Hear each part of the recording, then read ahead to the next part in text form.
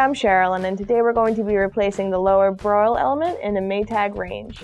You may need to replace this broil element if your lower oven is not heating properly when set to broil. This repair should only take about 10 to 15 minutes.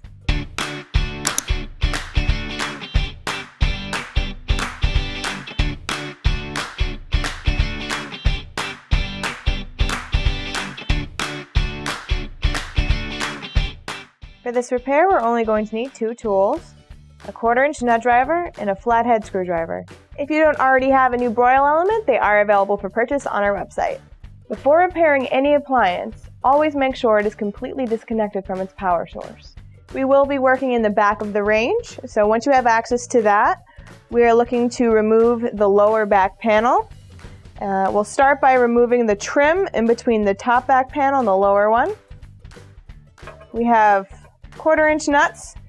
So take your quarter inch nut driver to remove these.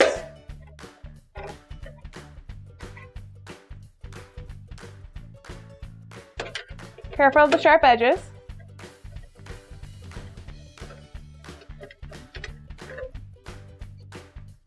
And then we can remove the remaining bolts around the bottom and edges.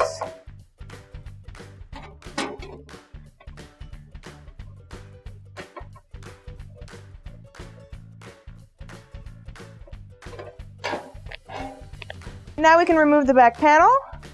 Just tip it back and lift it up. You may have to wiggle it loose a little bit, but then set it to the side. The lower broil element terminals are right here with the purple wires.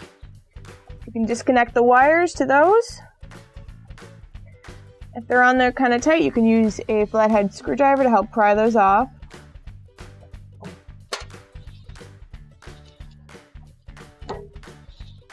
Like so. We'll start by opening up the bottom door. And for safety reasons, I would just I would suggest taking the door off. Um, so in order to do that, we're going to flip back these metal tabs on the hinges.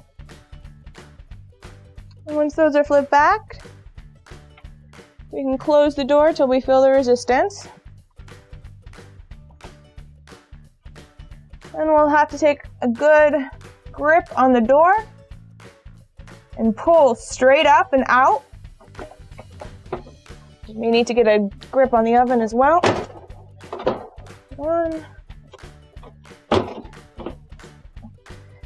And once both hinges have released, you can pull it out and set it to the side.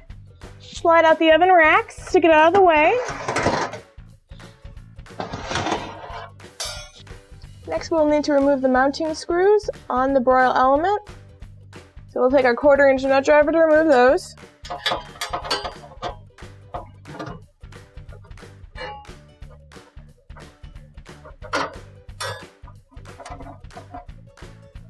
Now we can pull the lower broil element out and it's ready to replace. Now we can place our new lower broil element. Go ahead and insert those terminals into the back. And we'll mount the screws.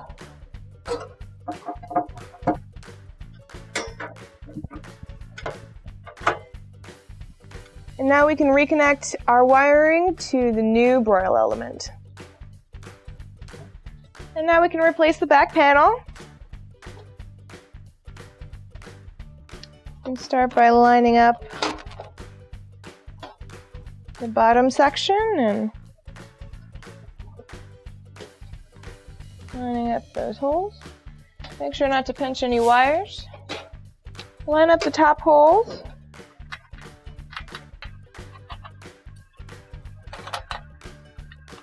And then finally replace the trim.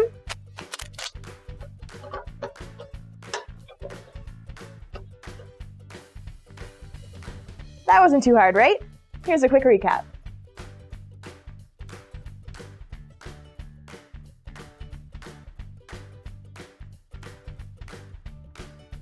All of our OEM parts and tools are available for purchase on our website.